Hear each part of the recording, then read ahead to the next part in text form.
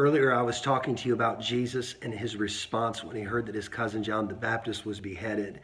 When he heard the news, he didn't say anything, he kept his mouth shut. And I believe one of the reasons why he did that is because he understood that he couldn't respond. He couldn't process the pain audibly around the particular group of people that he was around. Sometimes you got to be careful who you share your pain with because not everybody can handle it.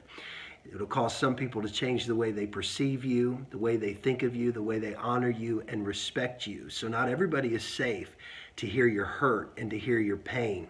So guard your heart. Don't become an isolationist. Don't seclude yourself.